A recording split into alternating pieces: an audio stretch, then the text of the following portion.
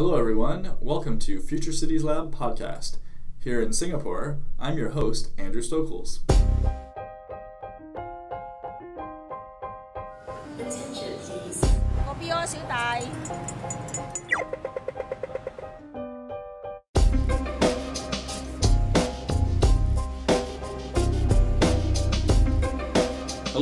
And welcome to Future Cities Lab podcast. Today I'm joined by Jahson Alemu, who is a postdoctoral researcher with Natural Capital Singapore.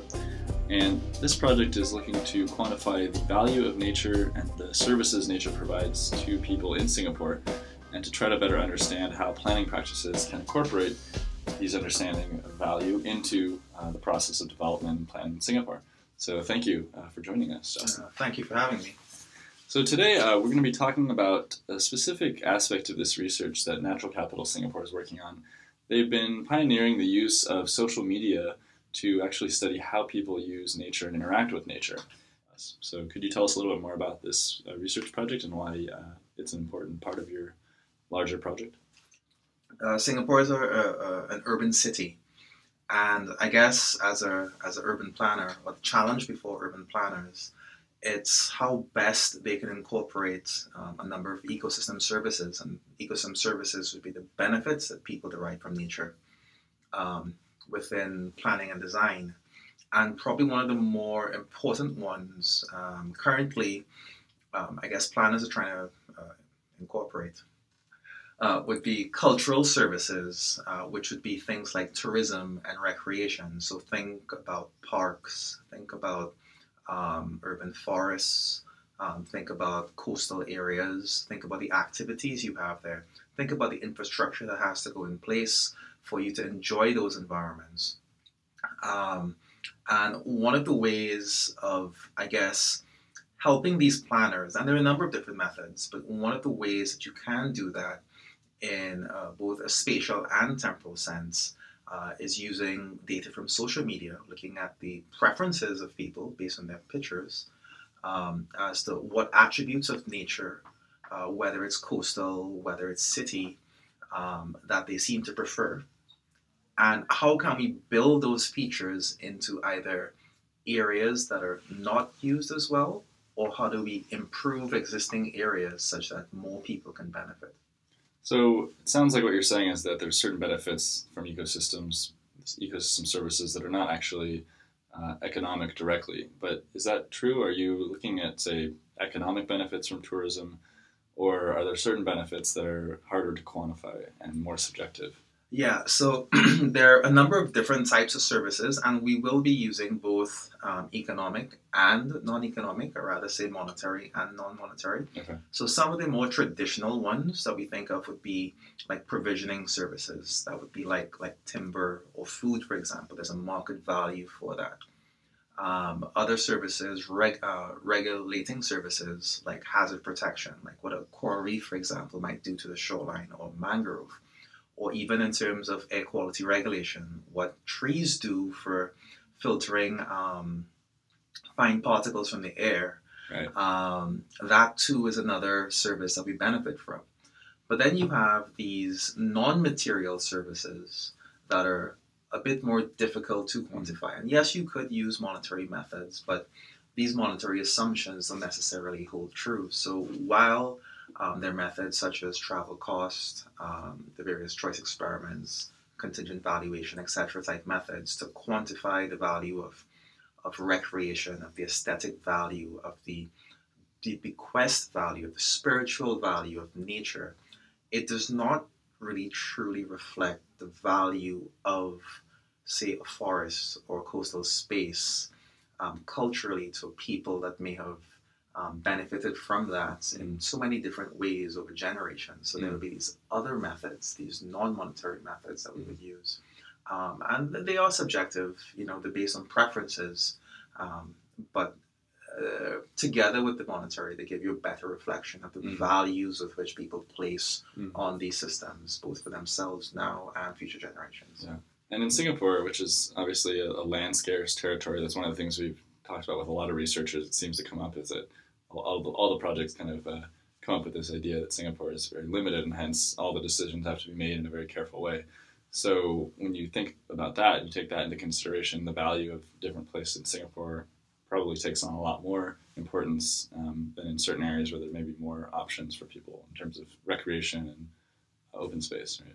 Yeah, I think um, I think actually Singapore has been um, has been quite clever with that. So because of because of it being land scarce, it's had to optimize how it uses space, and it's had to think non-traditionally Mm. of some of these services where um, where countries that have the space uh, would maybe go at a slower pace. Um, but here, uh, because land is scarce, you know, you've had to think non-traditionally, look at different types of services, how they can fit into different spaces and benefit as wide a range of people Mhm. over as wide an area as space, uh, over as wide an area as possible Right. um, while at the same time um, allowing for economic growth um, for the people. as So in Singapore, even though uh, much of the island is built up, there's still a lot of nature and open spaces. So people um, think about Singapore, right, like a very managed nature, but um, some of the spaces are actually still reserved for, for natural um, kind of wild nature. So uh, the spaces that you're examining in this research, um, do they often fall into the category of parks, planned parks, or some of them also uh, open spaces or kind of preserves? Yeah, all spaces. Mm. Um, so some are pl- some are planned, some are not planned. Okay. Um, so planned spaces, I guess, fall more within, um, I guess, an urban planning um, framework. Mhm. Um, the the open spaces, um, I guess, uh, communal spaces. Yeah. I guess. Um, so because there's no clear plan, they still offer value. Mm. Um, so in a Singapore context, um, just to give an example, um, there's such a, a rich diversity of people here. So, so you mentioned that different groups and different people use the parks in different ways. So that's something that these methods might help uh, understand, right? Yeah, yeah. Um, so I guess uh, a function of, um, of soft biases, I guess your, your background, um, could be socioeconomic, could be the story your grandfather told you as a child, could be anything. Mm. Um, you would have preferences for different environments. Um, some of them could fall within um, managed recreational parks, um, whether they're forests, whether they're coasts. Um, others could be open spaces. Um, what we find are, even here in Singapore, um, there are different social groups that tend to congregate uh, in in open spaces, open communal spaces, because it's an opportunity to bond with family, etc. Um, as opposed to maybe the, the congestion or popularity um, of the recreational parks, which may be um, too dense for some and take away from the uh, the communalness of the family bonding. So it varies from, from group to group. Okay. So, uh, can you give an example of some of the locations that you've looked at through these uh, studies of social media? Oh, so uh, there was a study done um, in around mid 2010s, I want to say around 2015, thereabouts, um, by uh, Richards and Friess. Mm. Um, they looked at the mangroves, uh, northern mangroves of um, Singapore. So I'm thinking specifically of the mangroves in Ubin, for example, but there's some others that they had looked at. In Pulau Ubin. In Pulau Ubin, Okay. yes, yes. Um, and this would be one of the more popular mangrove systems. Um, uh, it's visited fairly frequently, especially on weekends, um, by various groups of people. It's Mm. always busy. And, you know, interesting factoid um, about Singapore, uh, it has one of the highest phone data and social media usages Right. of any place in the world. Um, the statistic I read recently um, estimated that uh, every seven out of ten person um, is on social media here At any given time. at any given time. Mm. Uh, well, the actual percent they gave was seventy-seven percent. but um, just to put that in context, uh, you have this high density, high traffic of people, ready availability of data, phone devices, right. ready ability to be connected both to your friends and family here and abroad, and you want to share this experience. You want to share your, whether you're aware of it or not, this connection. So you leave from your home, you go to this to this mangrove environment to experience nature, whether it's a cycle, whether it's to walk, whether it's to be away from the city, whether it's the bond with friends, spirituality, any reason. And you take a picture and you send it to a friend, you post it on Flickr, you post it on any one of these social media um, outlets, um, and some of them, some of these outlets, they they they allow within reason um, scientists to extract some metadata from that. Right. Meaning, um, a lot of these pictures tend to be georeferenced, geotagged. All right. So you're standing in this mangrove, you take a picture, and with this geotag locate um, information, we can actually plot a map indicating that, oh yeah, there's someone who just took a picture in this area. When we look at the picture, we can see the characteristics of the environment. Did they take the picture with the uh, with the seawall to their back? Uh, was the ocean to their back? Was a mangrove to the back? Was, was there a lot of litter? Were there benches? Were there a lot of amenities? Were they standing in a muddy area? Were they looking happy? Were they frustrated? Were they complaining? Um, were there any other cultural artifacts there? From these various attributes within the image, and we need lots of images to do this, of course. Um, we're able to uh, look at, I guess, correlations between the the attributes of the landscape, and we make the assumption that the person taking the picture, you know, has some preference for the area. So between their preference Mm. and the attributes of the landscape, and if there are positive relationships, then that might be an indicator of well, these features probably encourage more people Mm. to go to this area for whatever reason. And maybe these are features we should probably try to enhance elsewhere. Mm.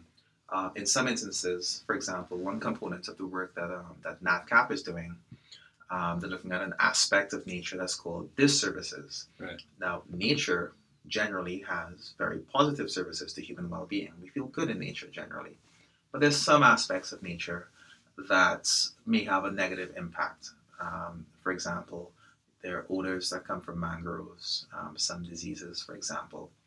Um, and litter being one of them. I mean, we live in a in a human touched, human modified world. You know, Mm. you look into the ocean, um, plastics is in the news all the time. This stuff washes up on shore. So one of the um, one of the services that, that mangroves and coastal ecosystems offer, for example, is they trap sediment, Okay. right, which helps to stabilize and build your shoreline, Yeah. right, which helps to protect um, people and property. But with loss of litter, it also traps this litter, Mm. which reduces the aesthetic, which reduces or can have a negative impact on your um, your cultural experience that you're having there, a negative experience, a disservice. So if you find people's pictures, for example, contain images of litter, this might actually be an indicator that this particular area is being not maintained or actually contributing something negative to that Yeah. space. Yeah, so when you look at the frequency of pictures, how many people go to that area, and then you look at the amount of litter in the back, it's, and I mentioned it before, um, it's a easier way spatially, all right, to get a lot of information about areas and people's preferences. If we had to do this otherwise, it would be a very time consuming process and it would probably aspatial Okay. because you would have to do a lot of surveys, a lot of interviews, um, which has a lot of subjectivity. And this method does have some subject some subjectivity as well, because when you think about it, um, there are biases in terms of geography. Yeah. Um, there are biases in terms of age. Um, younger folks generally tend to be Yeah. a bit more tech savvy and will post more online than um, not so young people Right.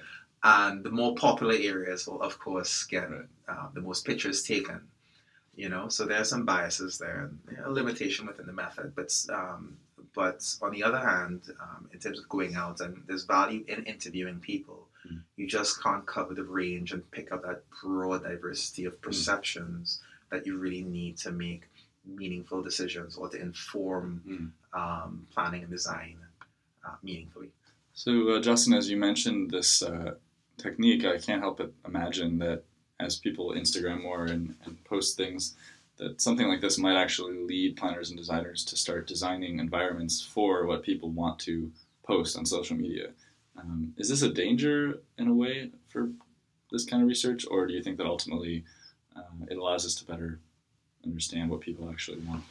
Uh, I'd say yes and no. So, um, in a we live, or at least we're moving in a trajectory towards um, a more urbanized environment. Right? We have a lot more people living in concretized environments, and you have high density of people that still want to interact with some aspect of nature, um, whether directly or indirectly. Um, so imagine you have a city and you have a park, and everyone there's a, a forest park, and everyone wants to go to this forest park for a number of different reasons. Um, and as the city grows, that same park would be under greater and greater stress.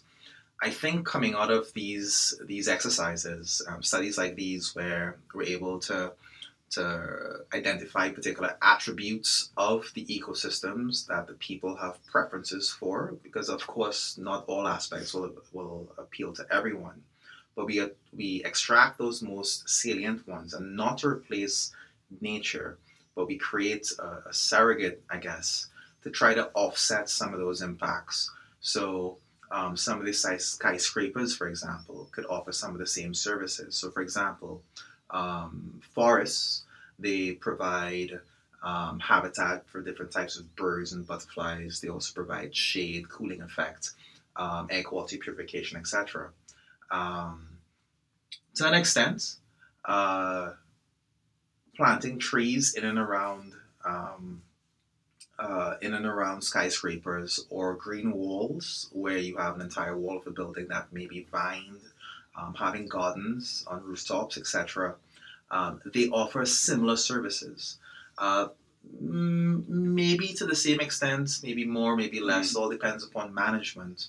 But fundamentally, the same service which um, is still offered to yeah. that growing population, yeah. thus offsetting some of the, um, the, the damages, for want of a better word, that the natural ecosystem, the natural landscape itself, um, may be faced with. So it's not just about preserving what's already there; it's also about how do we design open spaces, recreational spaces yeah. for the future. Yeah, exactly. And integrated with buildings and cities. Yeah, exactly. exactly. So Singapore has been very active in this, uh, mandating that buildings replace a certain amount of green space that they took up in construction, actually on the building or the roof, in these mid-level greenery areas, podium spaces.